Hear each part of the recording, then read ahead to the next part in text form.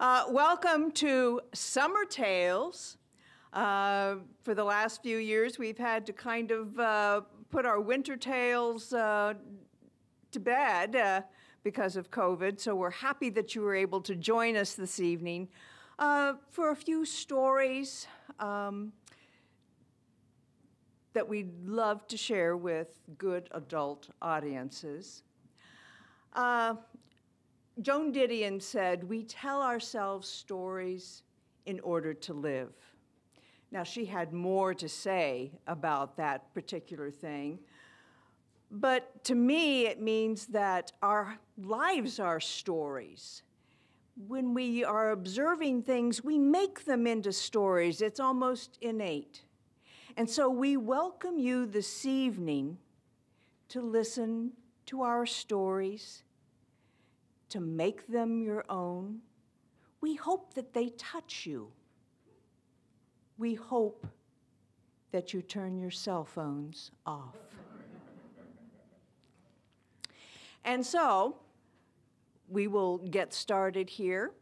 And uh, thank you all for being here. There are some familiar faces, even behind the masks, uh, this evening, and we're so glad to have you here. The Bloomington Storytellers Guild, the Monroe County Public Library, together supporting stories. Thank you.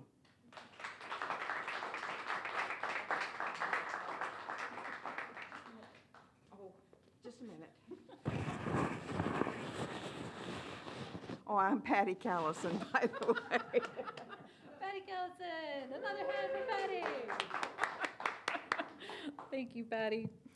And uh, my name is Lisa Champelli, and this story has some loud parts, so I might step back, but I, I will try to make sure that everyone can still hear me. Is this a comfortable volume right now? All right. So I'm going to start us off with a classic tale. Hmm. Someone has someone's device talking to them.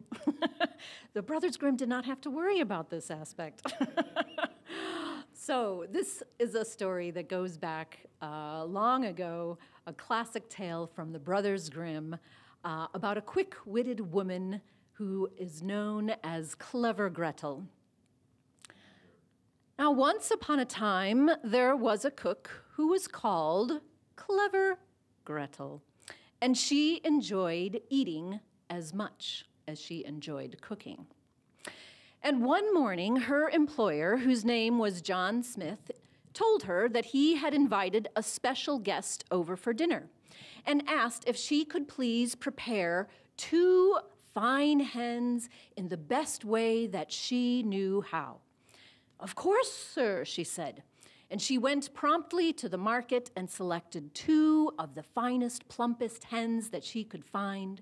She brought them back home, butchered them, plucked them, and then marinated them in a savory wine sauce. Of course, after sampling the wine first to make sure that it had not soured in the summer heat. And after confirming her wine selection several times over, she uh, was ready to transfer the chickens uh, and begin roasting them over the open fire. The chickens, after some time, uh, began to turn a beautiful golden brown. And she was watching them carefully, slowly roasting over the fire. And she noticed that they were just about ready, just at their prime, just about ready to be eaten. But there was no guest. And so she called out to her employer Sir, the chickens, they are at their perfection. Where is the guest, though? And John had to reply, Gretel, I'm sorry, he's not here yet. I don't know. Oh, but these chickens, they need to be eaten right now at their juicy finest. What shall we do? And John said, I will go and fetch him. Per- perhaps he forgot the way here. Just, just uh, try to keep it going, Gretel. I know you can do it. And he went off in search of his guest.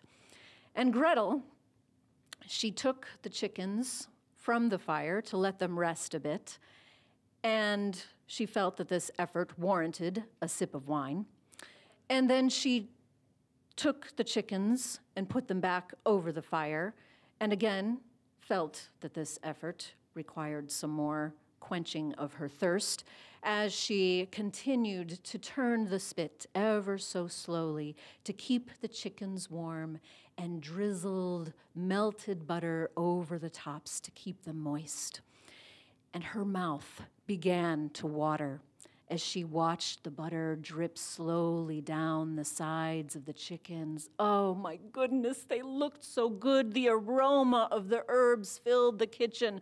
She couldn't wait to eat them. But did they taste as good as they looked and smelled? Of course, there's only one way to find that out. But there was no guest yet. The chickens, though they were ready, she ran to the window to look out and see perhaps they were on their way, but alas, no. When she went back to the chickens, she noticed that one of the wings was burned. Oh no, this wing is singed. Well, we can't have that. I can't serve a burnt piece of chicken to this special guest. I'll I'll just have to eat that one. And so she plucked it off, popped it in her mouth, and mmm, mmm. Oh, it was as delicious as it looked and smelled. And she looked back, gazing on the chickens fondly, and noticed that the first chicken looked a little odd now with just one wing sticking up, and really, she should probably eat the second wing just to kind of balance things out, right? So she plucked the second wing and popped it in her mouth, and oh, this one was just as good as the first wing. And she wiped the chicken uh, grease from her chin and ran over to the window to see if perhaps the guest was finally on his way because these chickens were perfection. But still, no one was arriving. And when she went back to look at the chickens, she began to wonder well, perhaps they decided just to eat dinner in town. Maybe they're not even coming back to the house. And what a shame it would be if no one enjoyed these chickens. Why, I have worked so hard all day. Someone should enjoy these chickens. It might as well be me. I've already eaten the first uh, wings off of the first bird.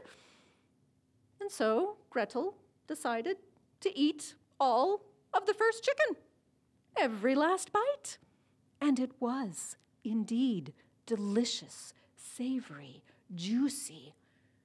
And she ran to the window hoping that someone else would be able to enjoy the meal that she had prepared, but there was still no one coming to the house. she began to feel sad, and so she took another sip of wine and then declared, I might as well enjoy the rest of my hard cooked meal myself. And so she consumed the entire second chicken she felt she was doing her due diligence to confirm that it was indeed as delicious as the first, and it was. It was fabulous. Every last bite. And as she took her apron and was wiping her mouth, she heard John entering in the front door. And he called out to her, Gretel, Gretel, come on, bring the chickens out. My guest is arriving. But of course, Gretel had no chickens to bring out.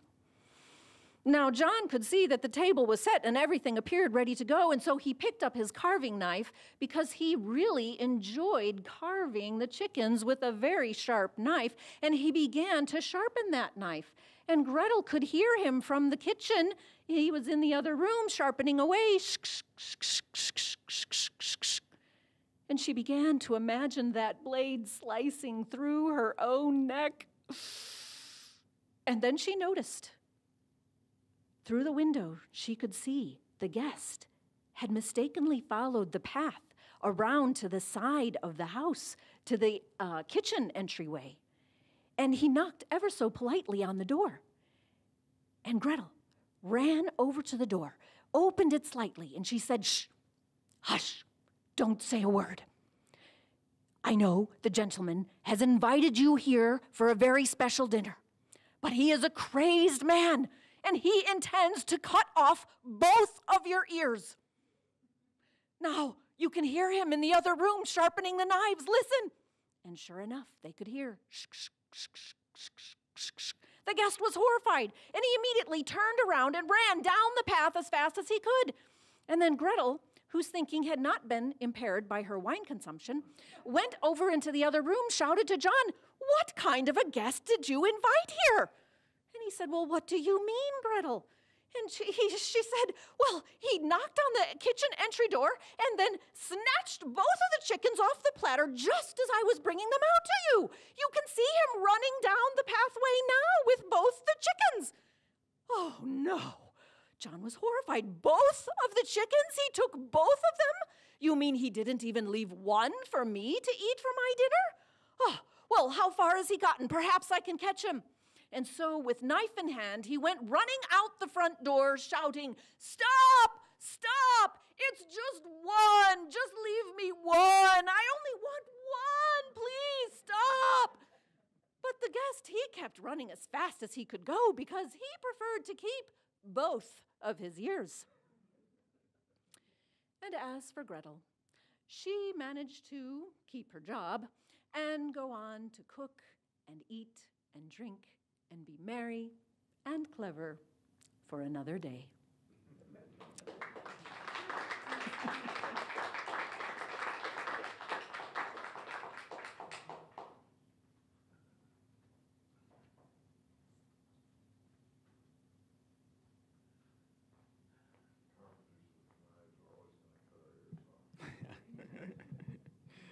Hello. My name is David Matlack, and I'm a storyteller and an educator and a veterinarian. So I thought I would tell you a dog story. Got to tell you about my dog Blue. Was the best hunting dog in the county. Now, to understand what happened to Blue, first I got to tell you about Miss Wilson. Now, see, we lived in a little cabin on top of the hill. At the bottom of the hill was a pond, and there on the far edge of the pond was the Wilson place. All right, well, one morning she was out on her porch, a churning butter, when she spied down at that pond a big eight point buck, a big deer. Now, she was known throughout the land as the best shot in the county, and she was not slow to seize this opportunity. She crept back into her cabin to the fireplace, reached up above the mantel, grabbed the musket. She took some buckshot and gunpowder tamped it down in there, took some kitchen knives, tamped them down in there, and a piece of rope. Went back out on that porch and went to raise, aim to fire when suddenly my mama decided she needed some lard for the morning biscuits and she was going to call Miss Wilson. Now, I'm sure you understand we didn't have no telephone, certainly didn't have no cell phone. I mean, she went out on the porch, Oh, Miss Wilson! Well, spooked that buck right out of his hooves. But that Miss Wilson, she was a good shot and a smart lady. She knowed exactly what that deer was going to do. He was going to run along the pond and curve through the woods to the left. So she took that musket and she bent that musket, that barrel, over her knee in a fine swooping curve to the left, went to raise, aim, and blam! Well, sure enough, that buckshot throwed that deer up in the air, pierced his heart, killed him instantly. Them knives skinned and field dressed him. And that rope caught him by the hock and left him hanging from the oak tree by the pond. I told you she was a good shot, now didn't I? All right. Well, now here's the part about blue. All right. Now, simultaneously, coincidentally, and at the same time, my dog Blue was sleeping under the porch, our porch, when his nose informed him of the presence of that buck down at the pond. Well, like a bolt of lightning, he shot out from under that porch, down the hill like a blue streak, found himself on the heels of that eight point buck when something throwed up, up in the air, killed it instantly, skinned and field dressed it and left it hanging from the tree. Well, he was a putting on the brakes, and oh, he didn't even see it coming. Now, don't get me wrong. I don't blame the Wilsons. It was the plowing season, and it was customary to leave the plow out of an evening, though I don't know I'd have left it right in the trail like that. Well, like I said, he was a putting on the brakes, but he had some momentum going, staring at his quarry hanging from the tree, and oh, he just slammed right into one of them plow blades.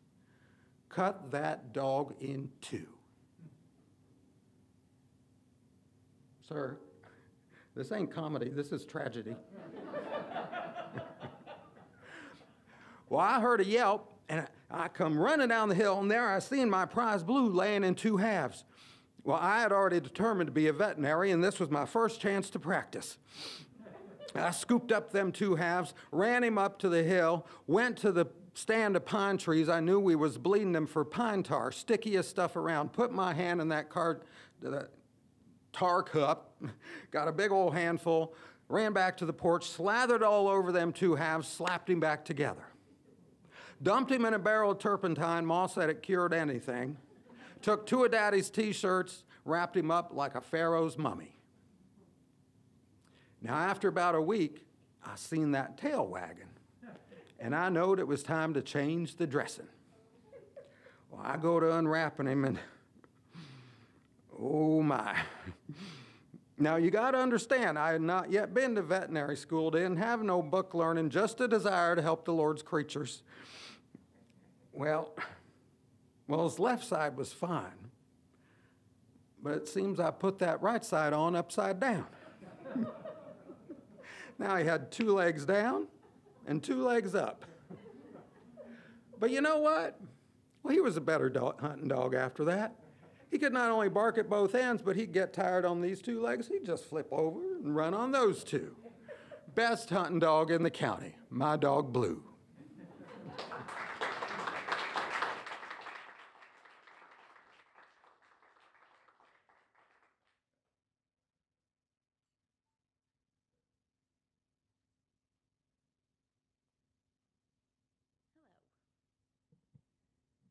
My name is Dana, and I'm going to tell you the story of the porcelain man.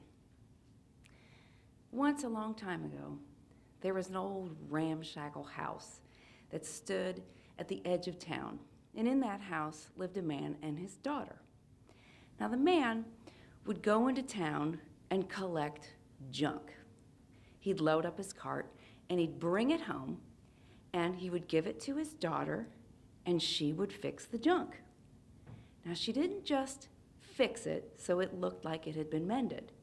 She fixed it so it looked like it was brand new. It was an incredible gift. And the father knew it. And he'd been telling her her whole life the world is full of thieves and robbers and ne'er do wells. It's a dog eat dog world out there. You're so lucky to be safe right here. And she'd never known anything different, and so she believed him. Well, one day, just like most of the other days, he set out to go into town to go collect some junk, and he warned her again. Don't go outside. Leave all the blinds closed. Lock the door behind me. The world is full of terrible people. You're so lucky to be here in this house. And so he shut the door, he left, and he went into town. And he collected a few things here, he collected a few things there. And on his way back home, he passed by a row of very, very beautiful houses. And in the front of these houses, there was a stoop, and on just about every stoop was a beautiful vase. Oh, he admired those vases. They were beautiful. Well, just as he was looking at one, one of the doors flew open and a maid came out and she was swinging a broom and she was yelling at a cat, Get out of here! Get, get, get! And her broom brushed past one of those vases. Well, she didn't notice it. She turned around and went back in the house and slammed the door. But that vase started to wobble, and then sure enough, it fell over. It rolled down the stoop, it rolled down the sidewalk, and then smash right into a lamppost. Thought the man. He waited. Nobody ever came out. So he ran over to that pile of porcelain swept it all up into a bag and he put it in his cart and he went home as fast as he could. And he opened up the door and he said to his daughter, Stop what you're doing. You need to put together this vase. This vase is a masterpiece. It's beautiful. It's going to make us all kinds of money. Well, she did what she was told.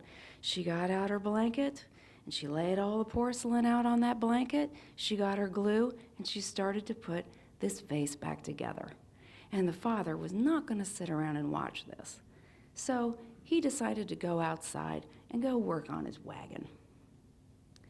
Well, this young woman had been putting things together for her father for a very long time.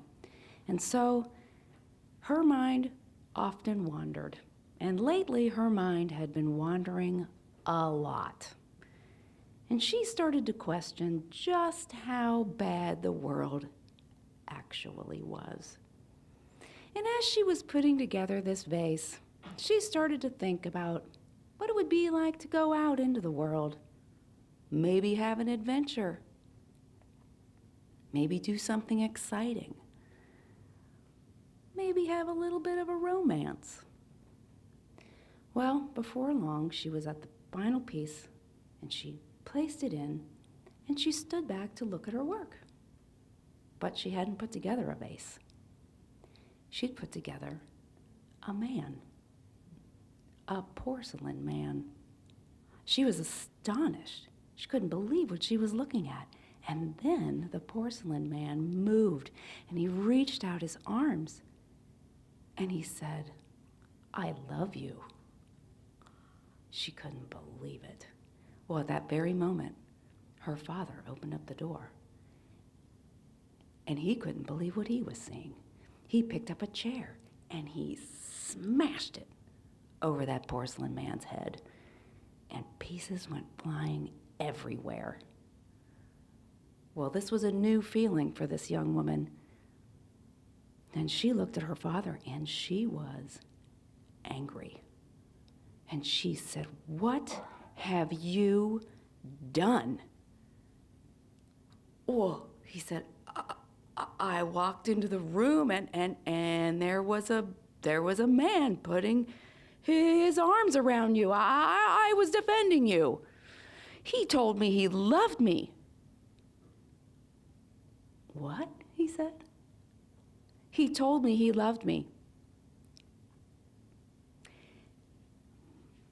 This porcelain man walked toward you with his arms out and he told you that he loved you? Yes, she said. Oh, said the father. We are going to be rich! This is incredible! A walking, talking porcelain man? Do you know what we have now?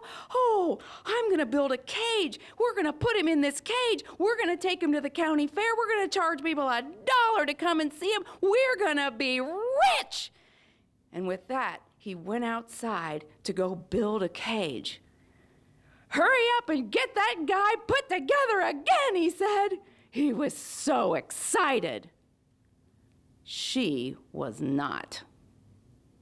She picked up her glue and she picked up all those pieces of porcelain and she put them back down on that blanket and she started to think, I need to get out of here. I need an adventure. I need something else in my life. And she started to dream about all kinds of things. And when she placed that last piece of porcelain, she hadn't put together a vase, she hadn't put together a man, she put together a horse. And she went over to the door. She opened up that front door. She jumped on that horse, gave it a giddy up, and they went straight out that door. She never saw her father again. And they went on and on for miles and miles and miles until she was absolutely exhausted. And she said, Whoa, we have to stop. I'm very, very tired. I gotta rest under this tree for a while, and then I gotta figure out what it is that I'm gonna be doing. And so she got down off the horse and she sat down under the tree. And the horse said, I'm going to smash into this tree and you're going to put me back together again as the porcelain man. And before she could say anything, that horse ran smack into that tree and busted into a thousand pieces. She didn't have any glue. What was she going to do now? Oh, so she sat there and she thought. But she was determined. Uh, I'm not giving up. I'm not giving up on my dreams. I hadn't come this far just to turn around and go back home. well, just then, clip clop, clip clop, clip clop, down the road, here came a young man with a cart and a horse. And he stopped right next to her and he said, Looks like you are in a little bit of trouble, maybe. Do you need some help? Yeah, she said, I do need some help. I have all of this porcelain and I need to get it back together again, but I don't have any glue. Oh, he said, I got tons of glue at my house. Come on over to my house and we'll put we'll put this beautiful porcelain back together again. So that's what they did. They scooped up all that porcelain, they put it in the back of his cart, and they went to his house. And when they got there, they took all of the porcelain out and they laid it out on a table. And he got two bottles of glue, one for him, one for her. And they started to piece that porcelain together. And they started to tell each other stories. And they started to tell each other jokes. And they laughed. And they had a really good time together. And when they were done placing all of that porcelain together, it wasn't a man, it wasn't a vase, it wasn't a horse. It was a beautiful set of dishes.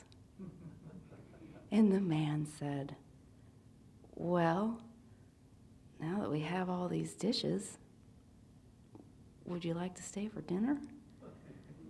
And she said, Okay. And so they went into the kitchen and they prepared dinner together. And sometimes their hands would touch, and sometimes they would tell each other funny stories. And finally, when the dinner was ready, they went out into the dining room and they laid it out all on the table. And she got herself a little bit of salad and she put it on the plate. And the plate whispered up to her, I love you. And she said, as she looked down at that plate, Shh, I'm happy now. And that was the story of the porcelain man.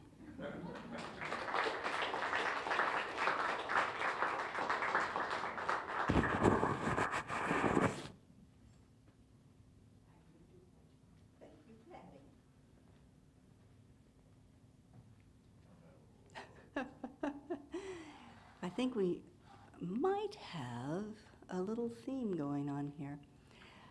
My name's Jenny Ritchie. What you need to know about me today is that I love vegetables. I love vegetables this time of year. I love the vegetables ripening in the garden. I love the fresh vegetables at the market. I love my plate full of tasty vegetables. But I know you're wondering, and I've wondered too, with all these vegetables, why have I never heard one speak?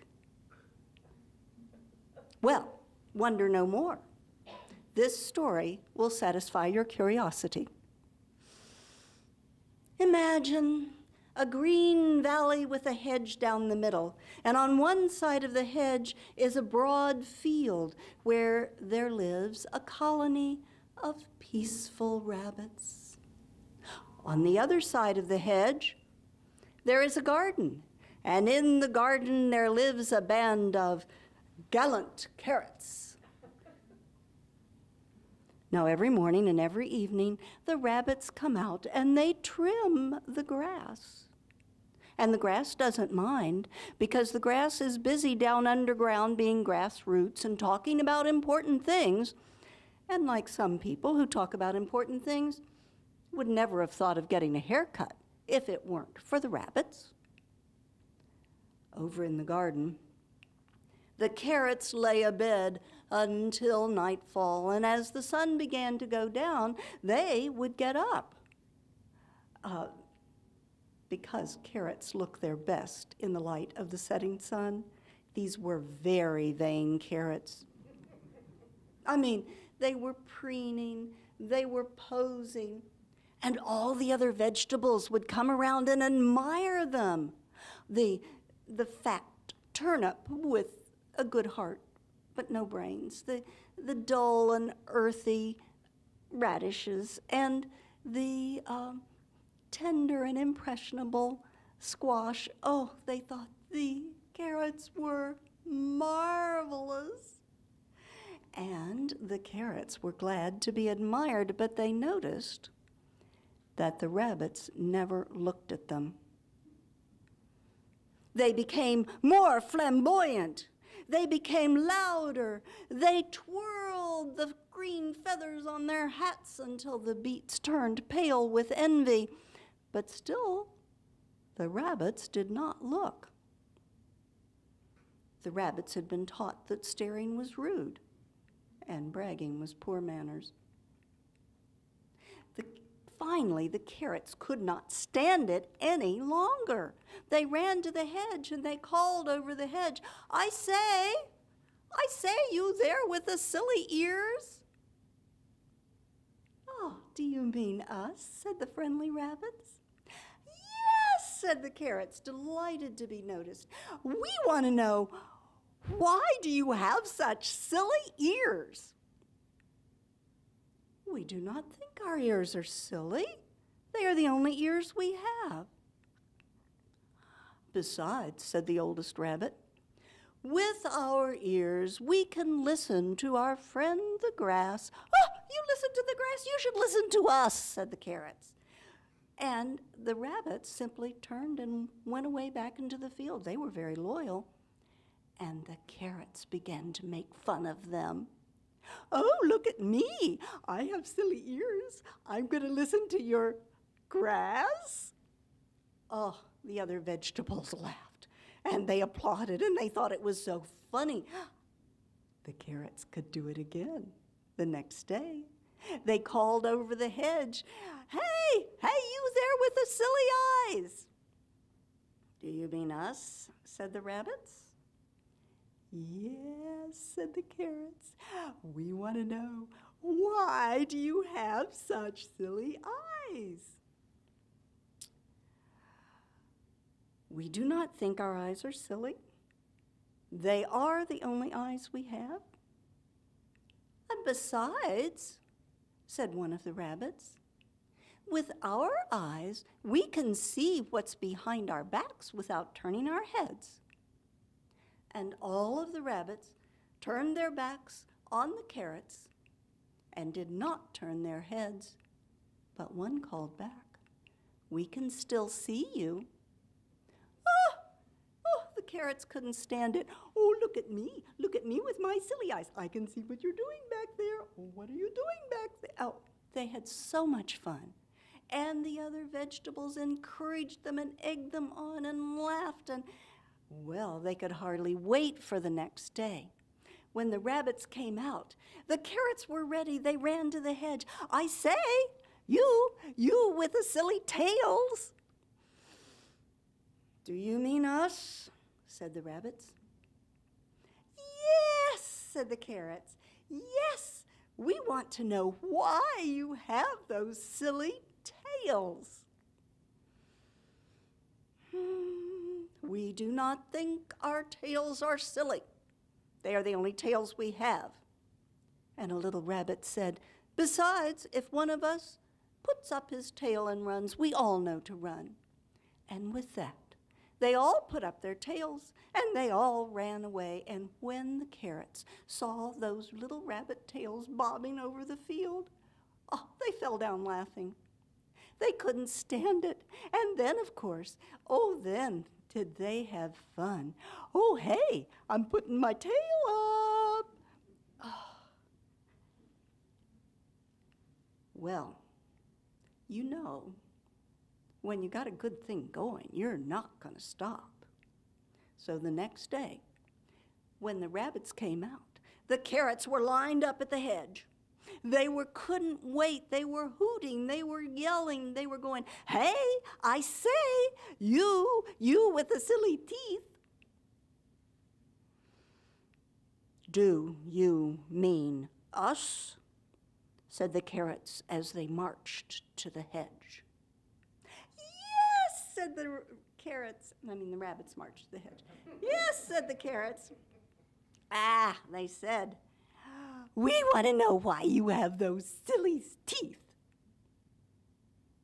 We do not think our teeth are silly. They are the only teeth we have. And the toughest rabbit said, Besides, with our teeth we can chew through anything. Oh, anything, said the carrots. Can you chew through trees? Can you chew through rocks? No. But we can chew through you. You knew that was coming. And with that, the rabbits thundered under the hedge and fell upon the carrots. The carnage was terrible. The carrots were rude and, and fearless, but they were no match for the sharp teeth of the rabbits. And before long, there was not a carrot left alive. And then the rabbits fell upon the rest of the vegetables around watching. And by nightfall, there were no vegetables left in the garden. And from that time to this, no vegetable has been safe in the presence of a hostile rabbit. Mm, But they still come out at night and in the morning to trim the grass and to listen to the grassroots talking down below. And sometimes people consult those grassroots, but they never talk to, to vegetables. And vegetables never say a word, they do not dare. Oh, But I did hear from a passing cyclist about a pumpkin patch out in Unionville. And she said that on fine autumn evenings you could hear the pumpkins singing, Indiana, oh, Indiana. But you know, that cyclist, unlike me, she might not have been telling the truth.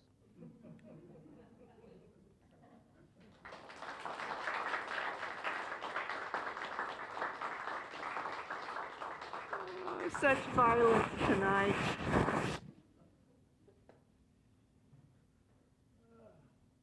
Thank you. Clean mic. I look out here and I see a lot of my friends. I'm glad to be here.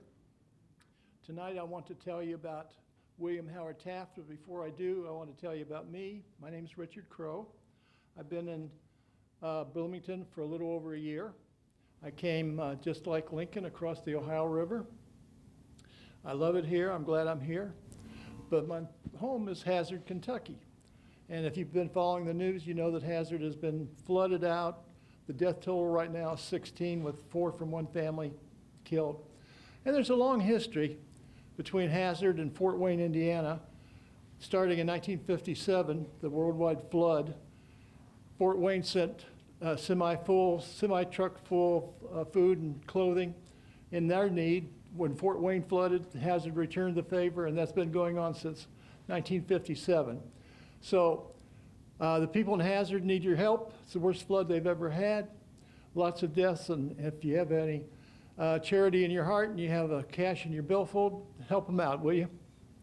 Now, as far as William Howard Taft, I'm going to dedicate this to the man sitting there in front of me, David. Stand up there. This is David McCrae, the local attorney. Many of you know him. The whole row is full of my friends there, so I'm tickled to death. But David's mother, Dorothy, was a sworn to God William Howard Taft Republican. And she never let you forget it. So this is dedicated to Dorothy. Thank you for coming, David. Who was William Howard Taft? Why should we remember him? Wasn't he just another one of those lousy Ohio presidents? Ohio had seven or eight presidents, none of them dignified in any way. None of them named Washington, Lincoln, Jefferson. They had names that uh, you don't hardly remember.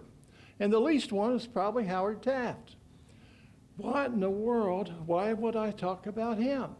I'm going to give you three reasons to remember William Howard Taft when you leave this place tonight.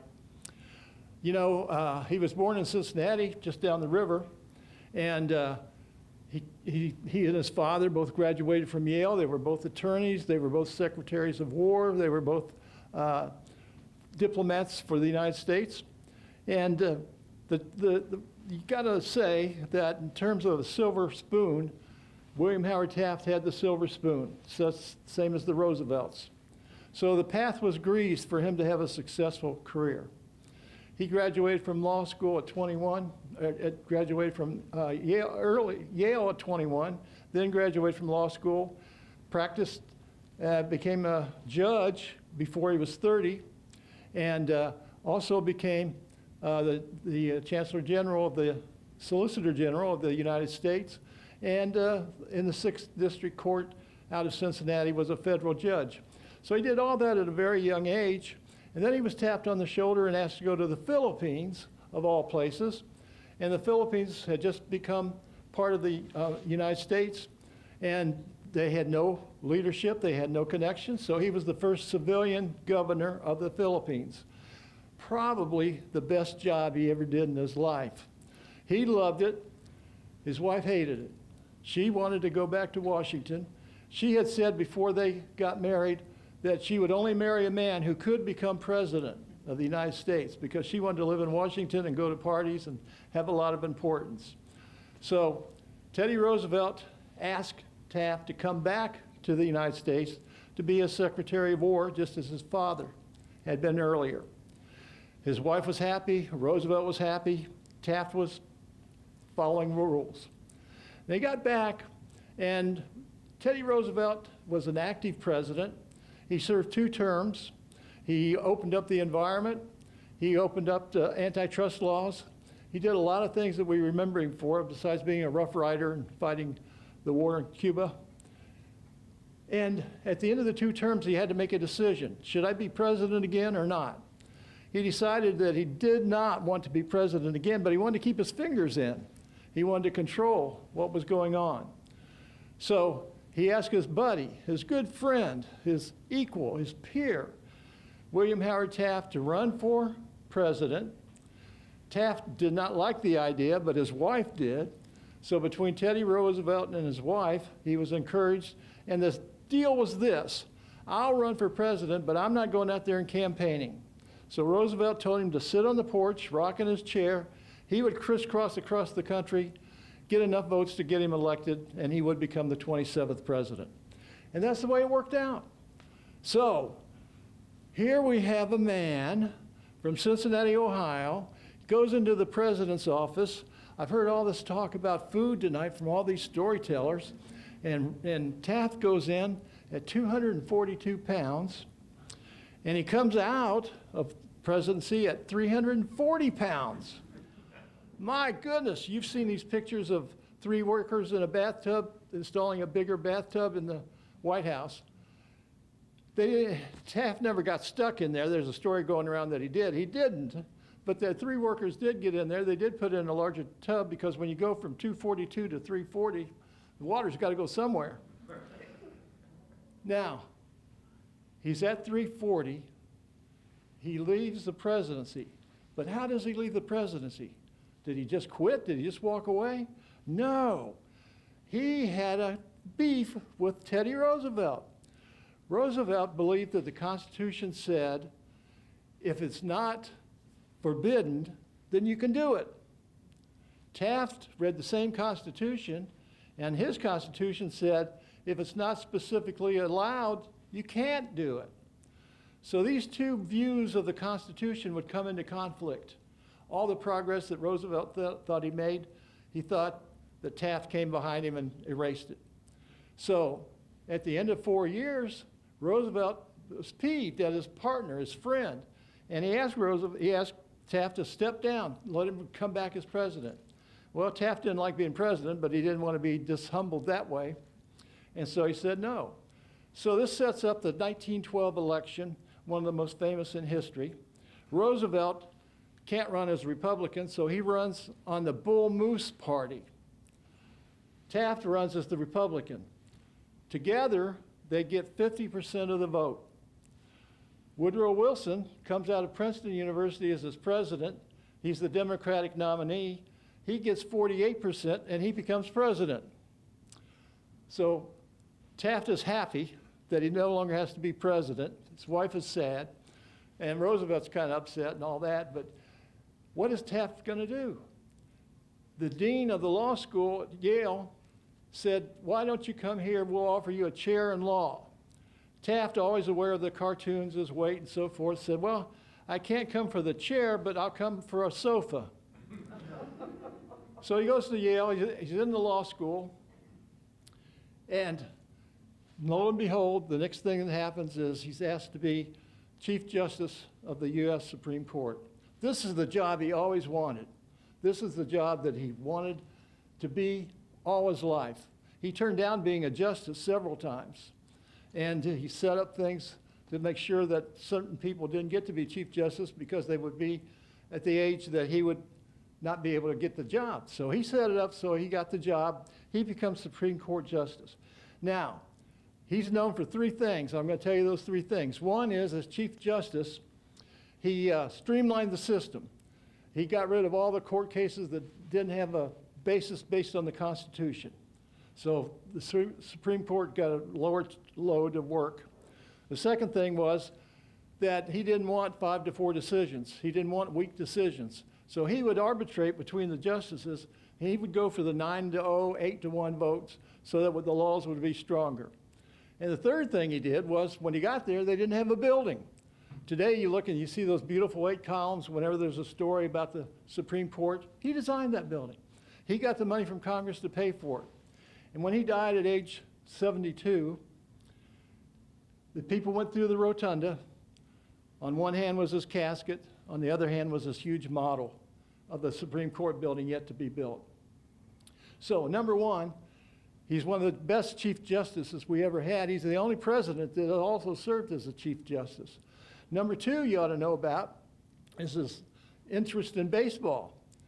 He loved baseball. He's very active. For a big man, he was very active. He, he walked to work four miles every day. He exercised for an hour a day. Loved baseball. Loved golf. So he is the first president to throw out the opening day game ball at a major league game. Second thing was during another game in the seventh inning, he was tired, so he took off his jacket, stood up, and reached out like this, and everybody in the stadium the Washington Senators Stadium, stood up, did the same thing. And so you created the seventh inning stretch.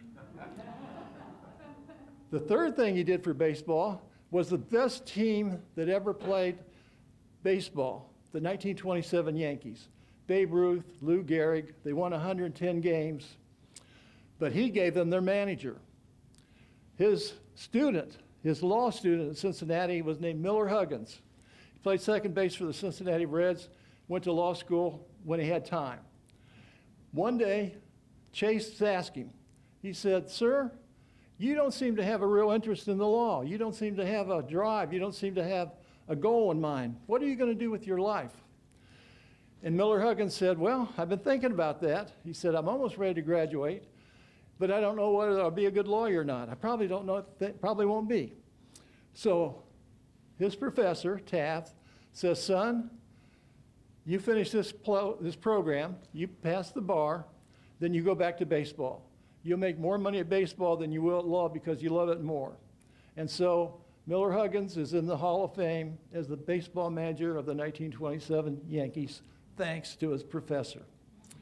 And the third thing we have to talk about is that weight. My goodness, he could eat. His usual breakfast would be a dozen eggs and a pound of bacon. Then he'd go from there. One time he was on a train going across the country. He was two miles from uh, Harrisonburg, Pennsylvania, 10 o'clock at night, and he got hungry. So he called the porter in and he said, Porter, have them open the dining car. And the porter said, Sir, we don't have a dining car. And he said, I'm the President of the United States. If I can't have a dining car, nobody can have a dining car. How could this happen? Then he realized that his wife and his doctor had plotted against him and taken the food away from him. No dining car. So he told them to wire ahead to Harrisonburg, two hours ahead, have a dining car ready to attach to this train, and get out of town. So from midnight to the rest of the day, he ate all he wanted to. he loved to eat. So he graduated from high school at 242. At the end of his presidency, he weighed 340. He went back down to 242. He went back up to 340. Then he went back down to 242. He died at 242. Now, the way I relate to him is this I also went on the same diet, and I also lost 100 pounds. So when I think about how big he was and how hard it was to get around, I think, oh my gosh, I've walked in his steps. These pants might come down. so he was a big man, but he was, he was active, he's healthy, and he lived a long life. He was active in baseball, and he did streamline the Supreme Court. So William Howard Taft, of all the lousy Ohio presidents, he's probably the best. Thank you.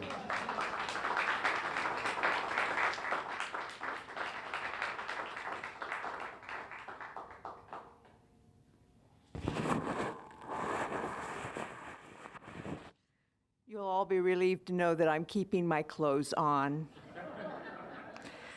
and this is attached.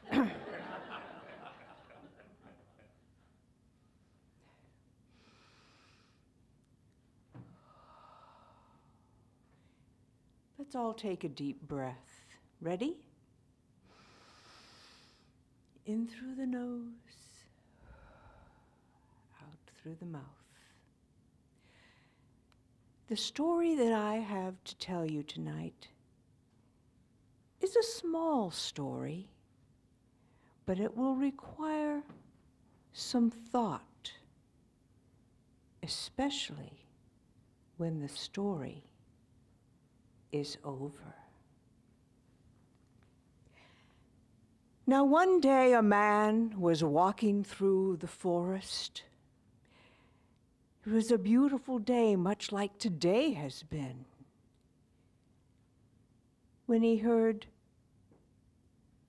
some breaking sticks behind him.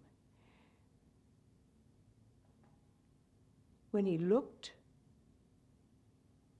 over his shoulder,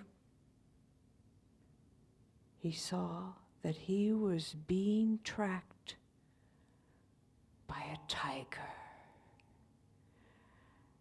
And the tiger, seeing the man notice him, started going faster and faster. And the man, he began to run. And he ran, and he ran, and the tiger got closer and closer and closer until the man came to a cliff. The tiger was almost upon him when the man decided the only thing he could do was to jump. And he did. He vaulted over the cliff and caught on to a vine that was growing from a crevice and there he swung next to the cliff. When he looked up, he saw the tiger looking down at him.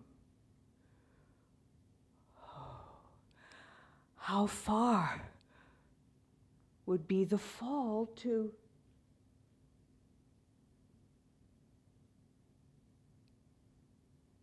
and below him he saw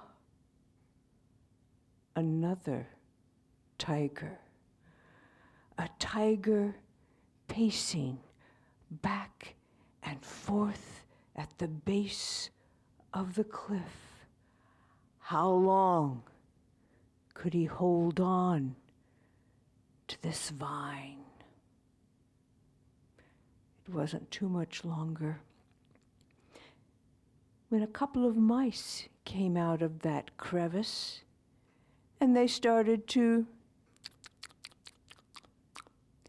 gnaw upon that vine, to go through that vine that now got thinner and thinner.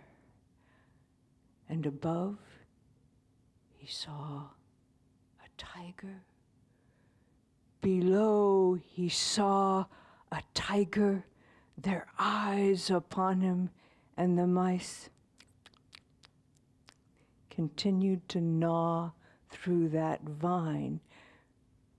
When the man saw just over here a strawberry, a beautiful red strawberry. It shone, and he reached over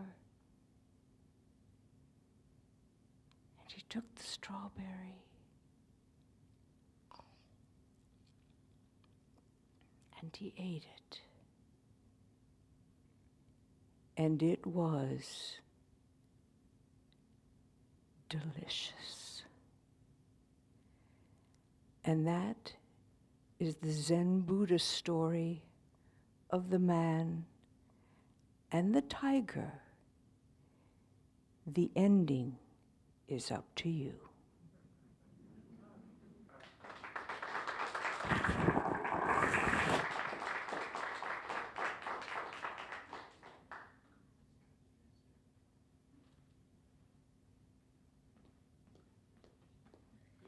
Hi, everyone. I'm Christina Jones, and I'm so glad to be here and to see you all here tonight on this lovely summer evening.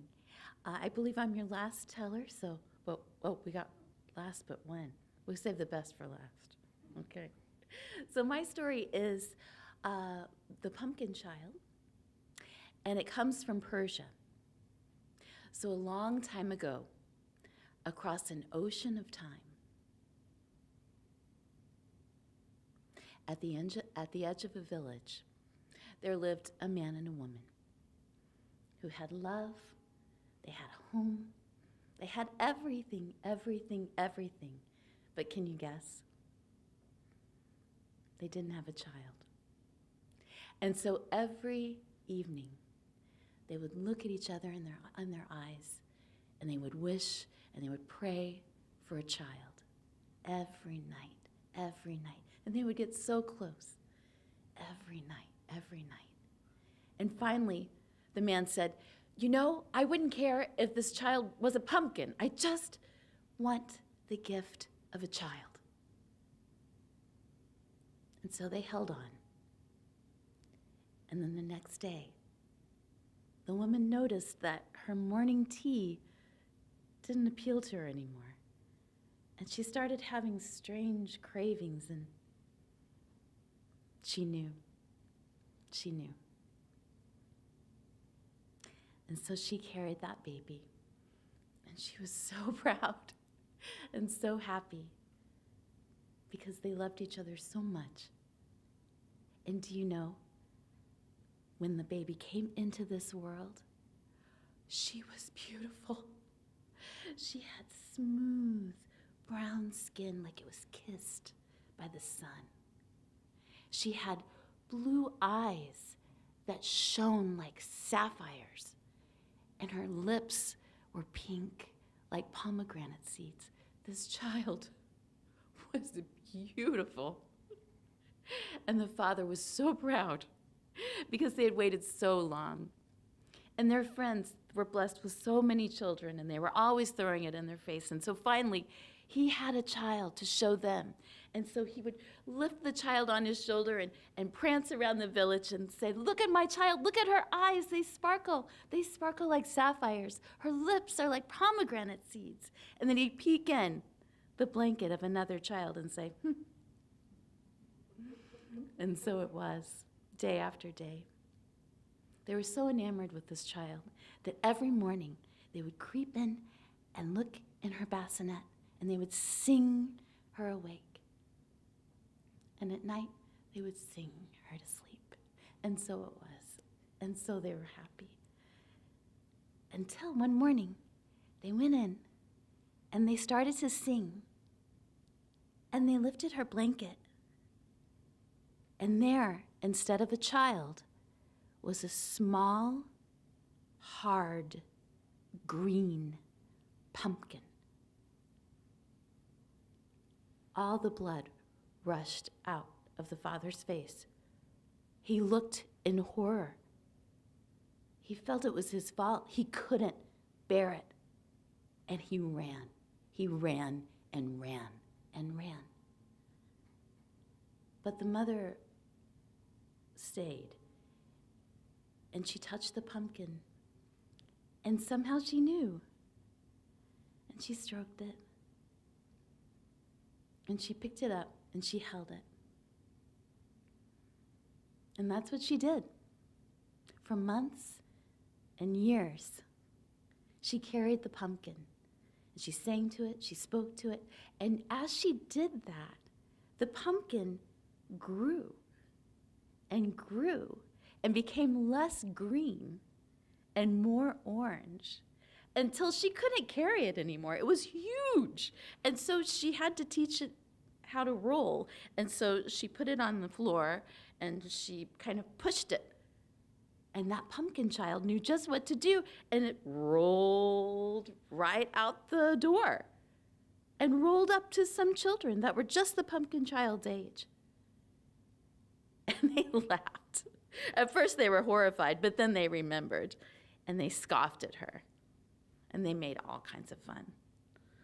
But the pumpkin child just rolled away and rolled into the village, rolled back, rolled around the house. And her mother sang, and her mother slept until it became time for the pumpkin child to go to school. And so she had a word with the schoolmistress. And on that morning, she kissed her pumpkin child and she said, Remember who you are. And with that, she set her down the road. And the pumpkin child rolled all the way into the village, bumped up the steps to the school, knocked on the door. And the door opened, and the teacher rolled her eyes, and the pumpkin child rolled right into school. And there she learned, alongside all the other ladies in the village. Now, every day during school, those ladies in that school would go out into the courtyard, and it was right in the center of the building. It was hidden, a hidden courtyard, and they would have a lunch. And so the pumpkin child went too. Now, what the ladies didn't know was there was a wealthy merchant's son that lived on the other edge of the garden wall. And so he would make a habit of spying on the ladies as they lunched. And it just so happened that one day he saw a pumpkin roll out with the other ladies. And it rolled under a bush. And he saw, and yes, a beautiful woman with brown, sun kissed skin and eyes like sapphires and lips like pomegranate seeds. This was the most beautiful woman he'd ever seen in his life. And she scaled up the side of the wall. No one noticed. And she ate the grapes that were on the vine. She scaled back down and disappeared. And then the next thing she saw was a pumpkin rolling out from under the bushes. Well, this went on day after day. He wasn't crazy. He knew his eyes were good. He put two and two together. So the next time they had lunch, here's the pumpkin child rolling under the bush, scaling up the wall. The merchant's son was ready. He was on the other side. And just as that woman grabbed the grapes, he grabbed her wrist. And her eyes flew open and they shone like sapphires. And she said, and she snatched her hand away. But as she did so, she left a ring in his hand. The pumpkin child rolled away, and the merchant's son went in to speak to his mother. And he said, Mother, I know who I'm going to marry. At last, at last, I'm going to have a grandchild. Who is it? Who is it? Who's the lucky, who's the lucky lady? And he said, I don't know her name. I don't know anything about her really, other than this is her ring. And so, what I need you to do is go from door to door to see who fits this ring. Well, it was a small village, and word spread fast. And so all of the eligible girls were either starving themselves to shrink up their, their fingers or eating extra butter to plumpen up, whatever they could do to win the heart of this merchant's son. And so the mother sent her faithful servant, Nana, door to door to door. And as you can probably guess, none fit just right. Until she got to the door of the pumpkin child. And so she knocked on the door and said, Are there any eligible maidens here? You've probably heard by now we're sizing this ring. And the mother said, Stop, stop with your torturing. You know that I have a pumpkin child. She has no hands, she has no ring.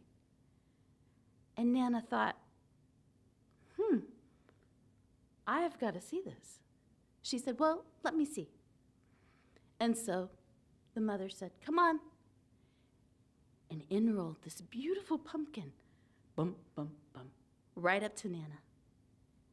And when you know, right out of the stalk came this beautiful, smooth, sun kissed arm, snatched the ring, put it on, and it fit perfectly, and went right back in. Well, Nana had a lot of explaining to do when she got home. but she did her best. And the merchant's son was there. And he smiled and nodded and said, Yes, I'm going to make, I'm going to make good on that promise. And so they were wed. And it was a beautiful wedding. And the pumpkin child had the most beautiful veil, and it trailed for miles. And everyone ate and sang and tried to pretend that the the merchant's son wasn't marrying a pumpkin, but he was, in fact, marrying a large pumpkin. And he kissed that pumpkin, and he went to the remote home that his father bought just for the two of them, well out of sight. Well out of sight. And so it was the merchant's son and the pumpkin child lived happily for many weeks and many months. Until one morning, the merchant's son started to sing. And he rolled over, and there, instead of a pumpkin, was a beautiful woman with brown, sun kissed skin, and eyes like sapphires, and lips like pomegranates. And he said, Why now? And she said, Because you loved me, even though I was a pumpkin. And that's the story of the pumpkin child.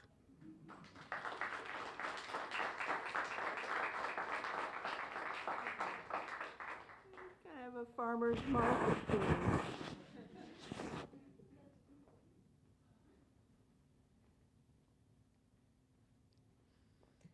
Hi, my name is Laura Clavio.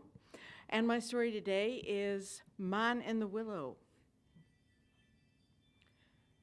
Kovac stole the throne of Ireland. He came in unannounced one day and he killed the king and he killed the king's son and he, he took the grandchild, a child named Man, and he tortured him. He made his life so difficult and he did so many vile things to that child that by the time the child was five years old, he no longer spoke. Well, some people helped him out, and he got away, and he was taken to France, which was the country of his grandmother. And there he lived his early childhood. And he always wore a long, floppy hat. And nobody really knew why. They just knew that was part of him, and they knew that he didn't speak. So they thought maybe that's a security thing for him. Well, the child grew into a fine young man except that he was silent. He didn't speak at all. When he had been a child and living in France, he remembered the time that he had played with the king's son in Ireland, whose, I'm sorry, the king's daughter in Ireland, whose name was Marina. And she carried a torch for him all of those years. And when she grew to young womanhood, she called the minstrel from the court and she asked, said, I have a poem, a love poem I want you to set to music. And then I want you to go to France and take this to the child that I knew, Man. And so the minstrel took the poem and he wrote beautiful music for it. And he traveled all the way to France. And he met the child who was now a fine young man, and he played the music for him. And man was so touched by the music and by the sentiments in the poem that he burst out and said, That is the most wonderful poem I've ever heard. I can feel the love in it. And at that point, he regained his voice. Well, at that time, the uh, King of France decided it was time to tell him who he really was. And so they told him that he was the true King of Ireland. And they gave him an army, and he set off. And he went back to Ireland, and unannounced, he went into the court of Kovat, and he slew him, and he took back the throne of Ireland. And everyone wondered, who is this person that's come and claimed the throne? And the Druid, who was still an advisor to the king, asked some of the soldiers, Who, who is this, this man that comes? And they said, we, we don't know anything about him except that we call him Man the Mariner, and he's a mighty warrior. The Druid thought back, and he decided he would go and ask this new king a question. He said, have you always spoken the way you speak now? And man said, Well, I recall when I was younger, I had no speech at all. And at that point, the Druid knew who he was. And of course, the first thing that Man did was seek out Marina, the beautiful young girl that he had played with, and he married her. And they lived happily ever after for about 10 years. And then, well, you know, that floppy hat he still wore all the time. And uh, every once in a while, a man has to get a haircut, right? Only whenever somebody cut Man's hair, they had to be killed. And one day, uh, the, the, the barber, whoever the barber would be, was always chosen by lottery.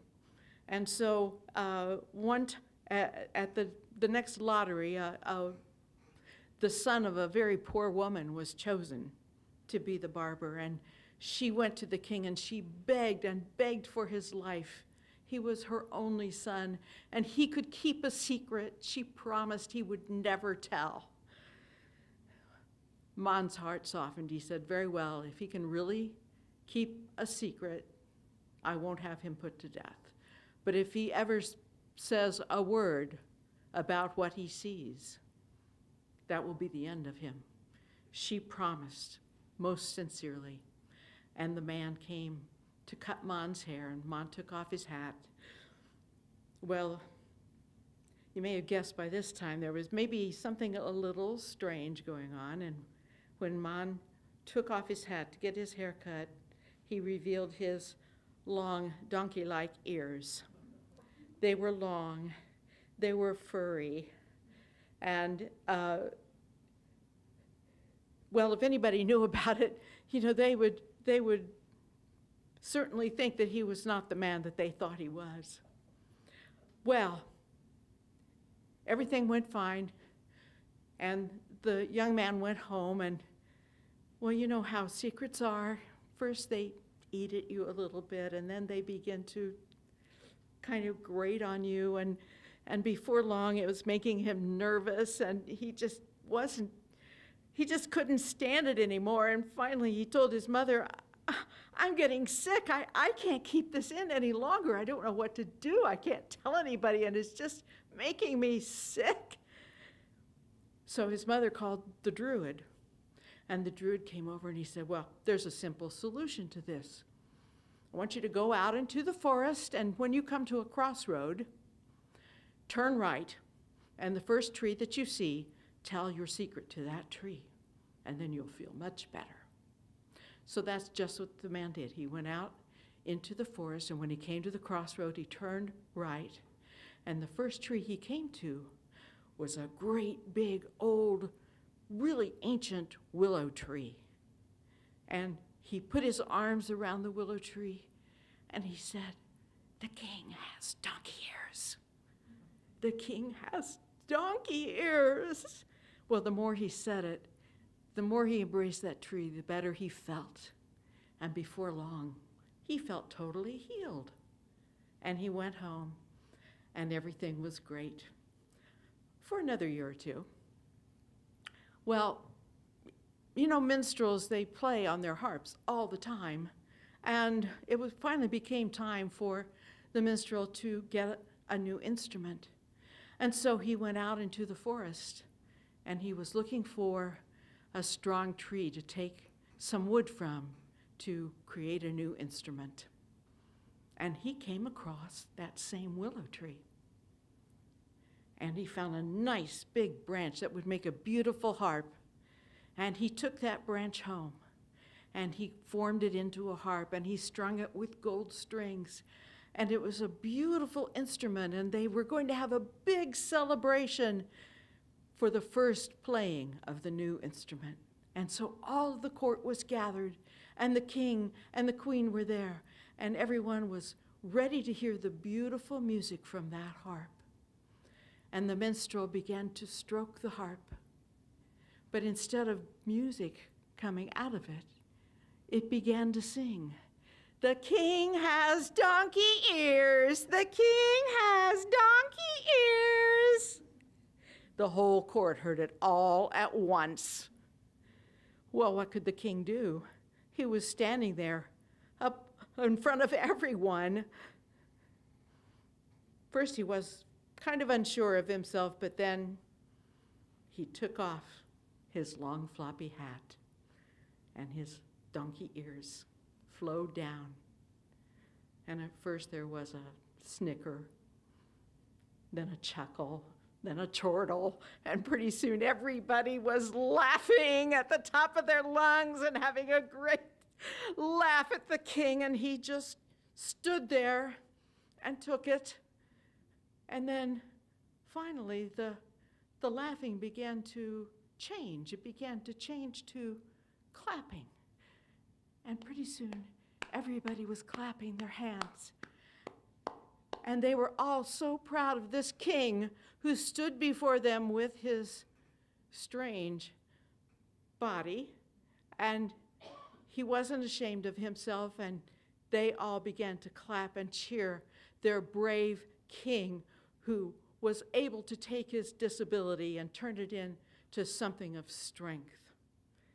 And from that time forward, everyone knew his secret, and they lived forever, happily ever after. Thank you. That's our last story of the evening. I'd like to thank the Monroe County Public Library for hosting us tonight and the members of the Guild for putting together, together such great stories. We hope you had a good time, and we hope to see you next time. Thank you.